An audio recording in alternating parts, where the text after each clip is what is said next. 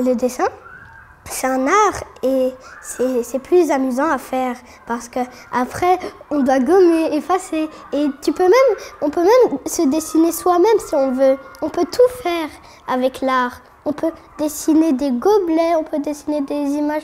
En fait, c'est magnifique l'art. J'aime.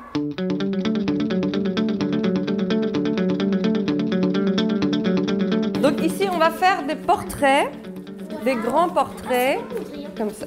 C'est un peu comme Mondrian parce que c'est stylisé. On va travailler à partir du travail d'un artiste qui s'appelle Stroke, qui est un artiste flamand, et qui fait des grands portraits avec des matériaux collés les uns aux autres. Je ne sais pas s'il est célèbre, c'est un artiste. En fait, il fait des peintures euh, un peu géométriques. Vous voyez bien qu'à l'intérieur de des fresques là, tout est géométrique. On voit que ce sont des polygones, d'accord? On voit qu'il y a des rectangles, des triangles, il y a toutes les formes géométriques. On dirait qu'on a dessiné à la latte.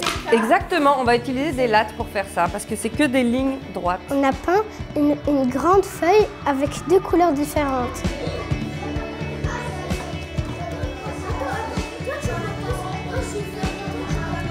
C'est beau quand euh, tu as, tous les mêmes couleurs sur la, feuille qui se mélangent directement sur la feuille.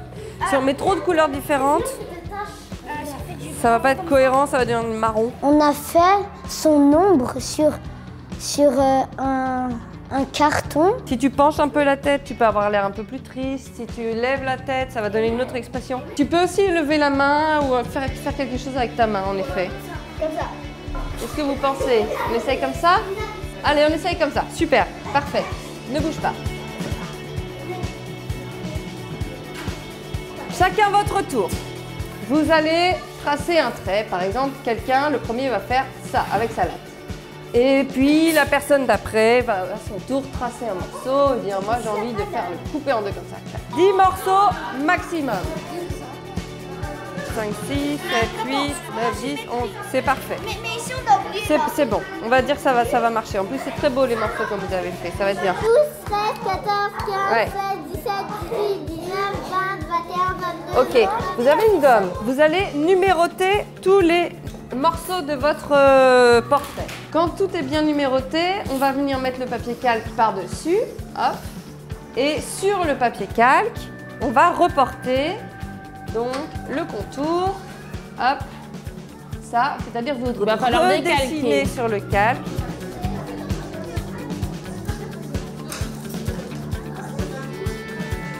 Les 10 morceaux, 10, 12, 15 morceaux que vous avez dessinés sur votre papier calque, on va les découper le plus précisément possible.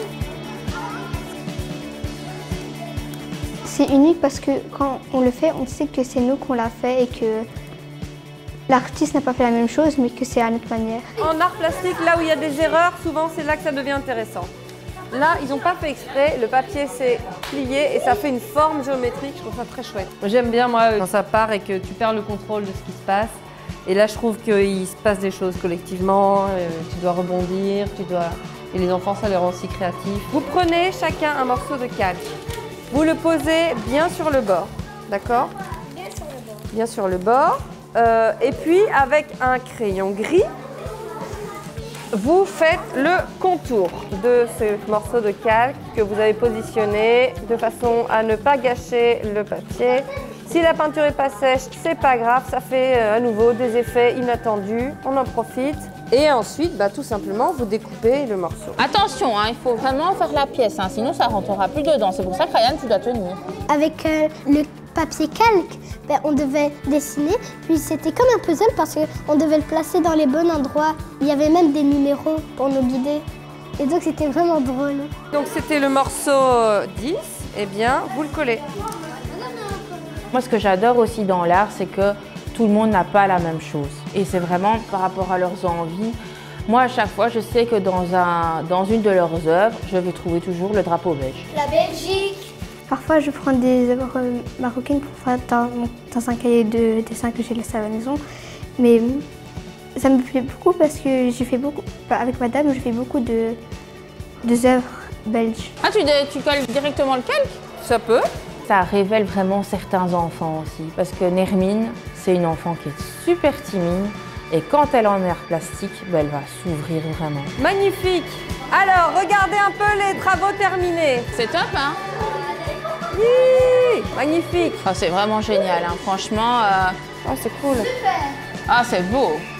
Ils sont super fiers. Quand euh, à la fin c'est c'est- c'est fini, qu'ils ont réussi, qu'ils trouvent ça beau. Les photos. ils sont vraiment fiers, ça fait plaisir. Et comment tu t'es senti Ça, je suis content.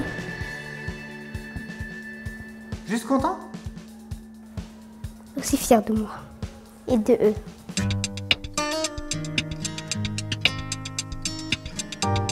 Dites, euh, je suis pas contente. Qu'est-ce que j'ai dit? J'ai dit que madame, c'était comme si c'était madame. Vous l'écoutez.